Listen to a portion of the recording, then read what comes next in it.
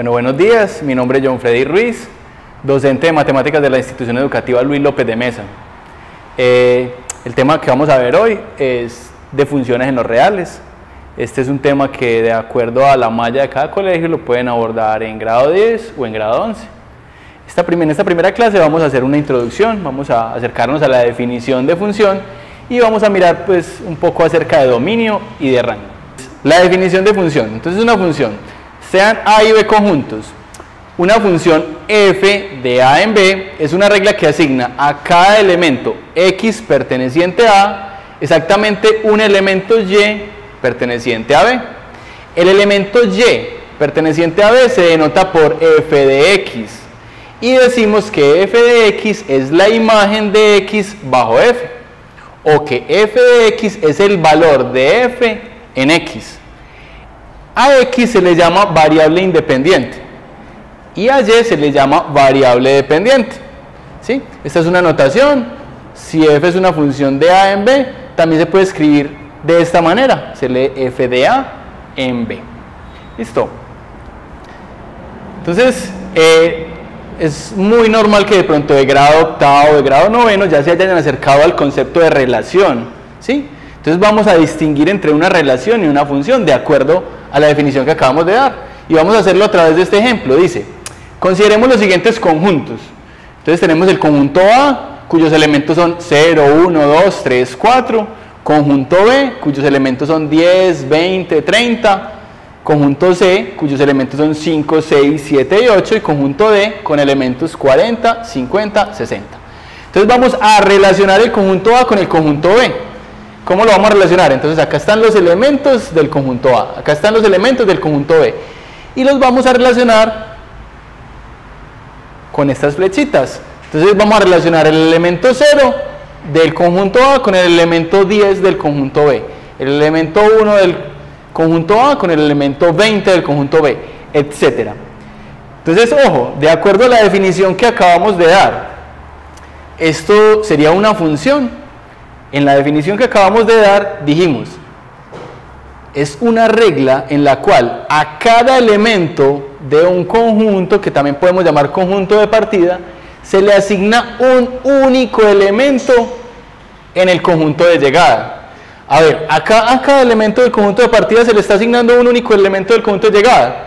Este tiene un único elemento correspondiente en el conjunto de llegada, una imagen.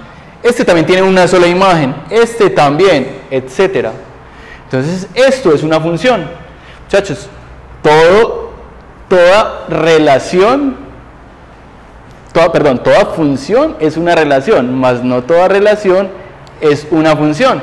Entonces esto es una relación, pero a su vez es función. ¿Por qué? Porque cumple con las características que acabamos de definir. Miremos esta otra. En este, el conjunto C, conjunto de partida C, lo vamos a relacionar con este conjunto de llegada D. ¿Listo? De acuerdo a la definición que vimos inicialmente, ¿esto sería una relación? Sí, es una relación. En una relación, los elementos del conjunto de partida se pueden relacionar con los elementos del conjunto de llegada de cualquier forma. Pero para que eso sea una función, a cada elemento del conjunto de partida le tiene que corresponder un único elemento del conjunto de llegada. Y como vemos acá, al elemento 5 le corresponden dos elementos en el conjunto de llegada. Tiene dos imágenes. Entonces esto no es una función.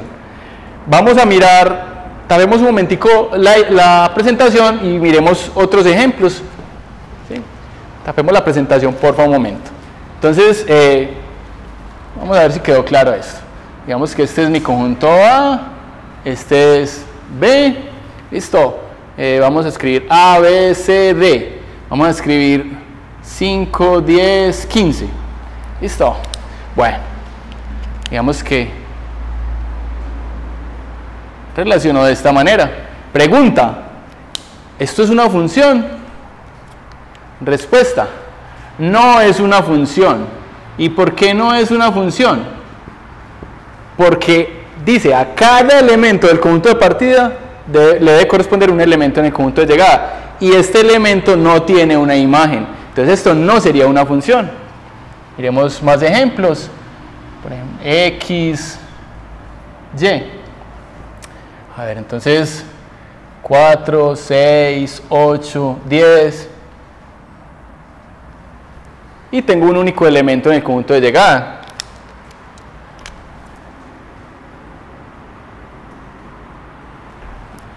¿Esto sería una función? ¿Sí o no? Sí es una función. A cada elemento del conjunto de partida le corresponde un elemento del conjunto de llegada. ¿A que el conjunto de llegada solamente tiene uno? Sí. De hecho, vamos a ver más adelante que esta función se conoce como una función constante. Entonces, esto sí es una función. Esto sí es una función. Bueno. Vamos. Otro ejemplo. Pasar. Bueno. Miremos este.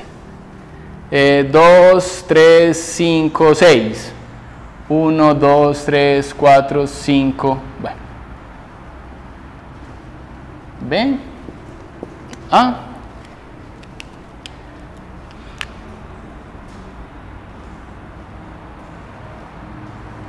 Pregunta, en este caso, ¿esto representa una función? Respuesta, sí la representa. A cada elemento del conjunto de partida le corresponde un único elemento en el conjunto de llegada. ¿cierto?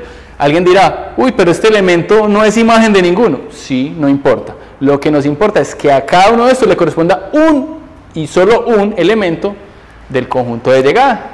Bueno, entonces continuemos con la definición de dominio y de rango de una función. Listo. Dale adelante. Entonces, dominio y rango de una función. Si A y B son conjuntos y F es una función de A en B, el conjunto A se llama dominio de la función y se denota por d sub f.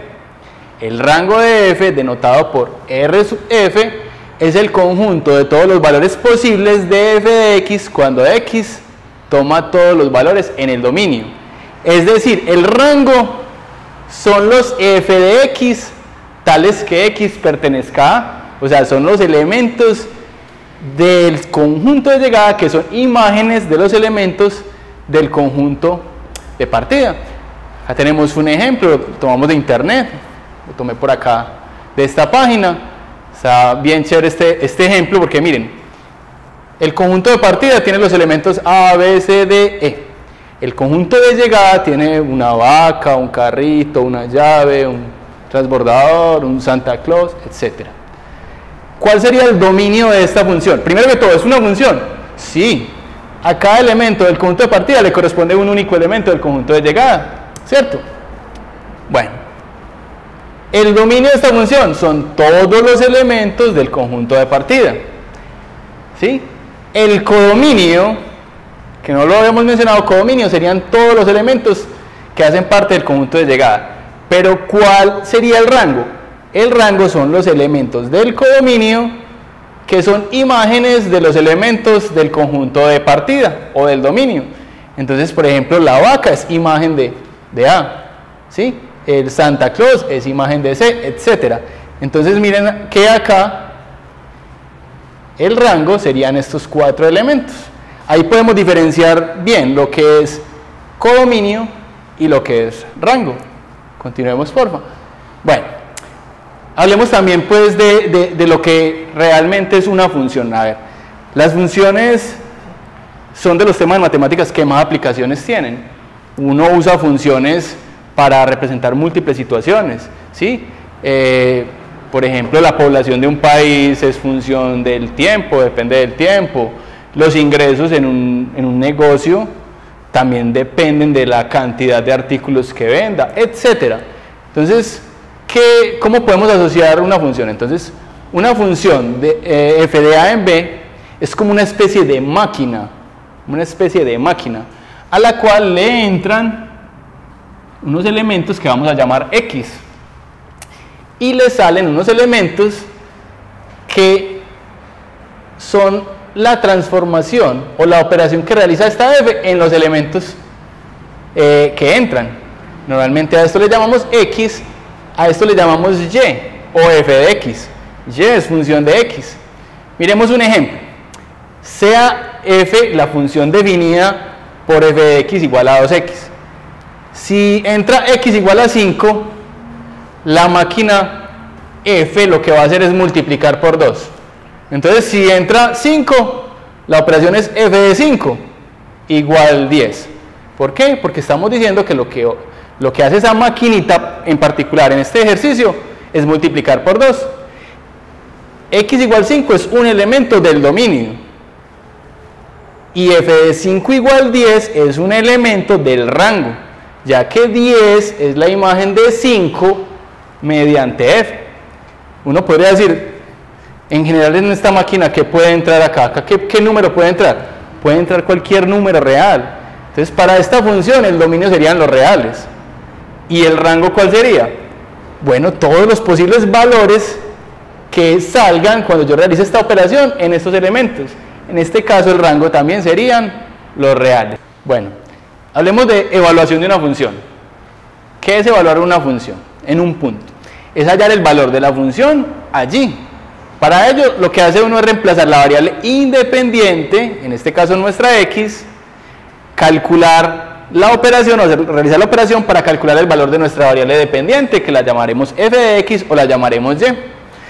Por ejemplo, si tengo esta función 2x a la 2 menos 1, evaluar esta función en 3 es cambiar x por un 3. Entonces noten acá que hay un orden, hay unas operaciones, hay un producto, hay una potencia y hay una resta. Primero se debe llevar a cabo la potencia. Entonces le damos primero 3 al cuadrado, 3 al cuadrado es 9, 2 por 9, 18 y 18 menos 1, 17. De una manera similar podemos evaluar esa función en otros valores, por ejemplo, ¿qué es f de 0? Es cambiar x por un 0. Entonces 0 al cuadrado 0, 2 por 0 0, menos 1, menos 1. Podemos evaluar eh, f en menos 2. Noten que si yo cambio x por menos 2, menos 2 al cuadrado es 4, 2 por 4, 8, y 8 menos 1, 7. Y de una manera similar podríamos evaluar f de un medio, ¿cierto? ¿Qué sería f de un medio? Vámonos por acá a un lado, f de un medio sería 2 por un medio al cuadrado menos 1. Un medio al cuadrado sería un cuarto, ¿cierto? Entonces 2 por un cuarto menos 1. ¿Sí? 2 por un cuarto es igual a un medio y un medio menos 1 es igual a menos un medio. ¿Listo? Bueno, pasemos a la siguiente presentación, a la siguiente diapositiva. Bueno, hablemos de la forma para determinar el dominio de una función. Listo, recordemos pues que el dominio es el, es el conjunto de los elementos que pertenecen al conjunto de partida, ¿cierto? Entonces, cuando ya tenemos nuestra función definida por una operación, tenemos que mirar que esa operación tenga sentido. Entonces, en los ejemplos anteriores fue fácil determinar el dominio, pues podríamos determinarlo fácilmente, ¿sí? Pero en otros ejemplos en los cuales hay operaciones que involucran eh, denominadores, o sea, que, involucran una parte racional o que involucran radicales o incluso logaritmos, ahí hay restricciones. ¿Por qué? Por ejemplo, en un cociente el denominador no puede ser cero. Eh, en una raíz par, la cantidad subradical, lo que está dentro del radical, no puede ser negativo. Y, en, y por ejemplo en un logaritmo, lo que está dentro del logaritmo no puede ser negativo. Entonces, en ese sentido, uno puede analíticamente determinar el dominio de la función. ¿sí? Miremos por ejemplo esta función. f de x igual 2 sobre x a la 2 menos 9. Entonces uno dice, bueno, x puede tomar cualquier valor siempre y cuando el denominador no se, tapemos porfa la presentación, eh, siempre y cuando el denominador no se haga cero. Entonces la función era f de x igual 2 sobre x a la 2 menos 9. ¿Sí? Entonces,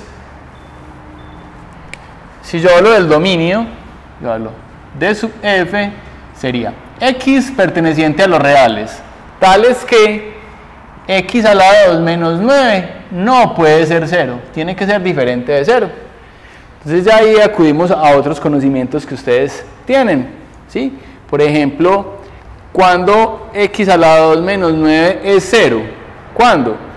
Podemos factorizar, eso es una diferencia de cuadrados, ¿cierto? Una diferencia de cuadrados, x Entonces, en una diferencia de cuadrado le sacamos raíz cuadrada al primer término. x, x, ponemos un más y un menos y le sacamos raíz cuadrada al segundo término, ¿cierto? ¿Sí? Entonces, x más 3 por x menos 3 sería lo mismo que tener x a la 2 menos 9. En un producto, cuando un producto es 0? Cuando alguno de los factores es 0. Este factor es 0 si x vale menos 3. Este factor es 0 si x vale 3. ¿Cierto? Entonces, estos dos valores en particular son aquellos que hacen 0 el denominador y son los que tengo que excluir del conjunto de los reales. Entonces, voy a escribir el dominio de esa función. Lo voy a escribir eh, como intervalos. Entonces, el dominio f sería el conjunto de números desde menos infinito hasta menos 3. Unido desde menos 3 hasta 3. Unido desde 3 hasta infinito. También lo puedo decir el conjunto de todos los reales, exceptuando el menos 3 y el 3. Listo, me dicen que determine el dominio de h de x igual a raíz cúbica de 16 menos x a la 2. Entonces, ¿cuál sería el dominio de esa función? Eh, h de x igual a raíz cúbica de 16 menos x a la 2.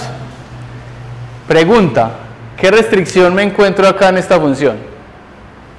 Ninguna.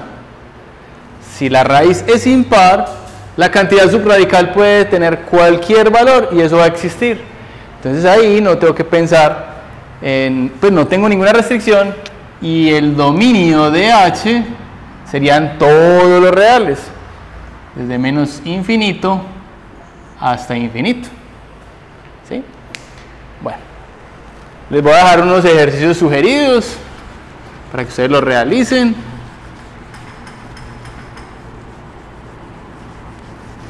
Vamos a mirar los ejercicios sugeridos. Y les voy a hacer una invitación a que, si no lo tienen, descarguen de la página de www.geogebra.com .org que descarguen, que descarguen la aplicación GeoGebra, la cual es muy útil para trabajar con funciones, también para trabajar con geometría. ¿sí? Eh, la pueden descargar al celular, la pueden descargar al computador y les va a ser muy útil a la hora de graficar funciones. Listo. Muchas gracias y pasamos, nos vemos en una próxima clase.